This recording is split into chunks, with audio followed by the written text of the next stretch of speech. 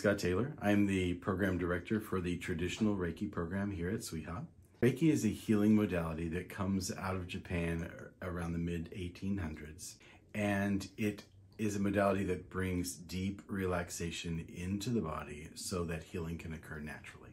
Some of the benefits of Reiki are self discovery, relaxation, Reiki is a great way to reset the nervous system. You can do Reiki on yourself or you can do Reiki for others.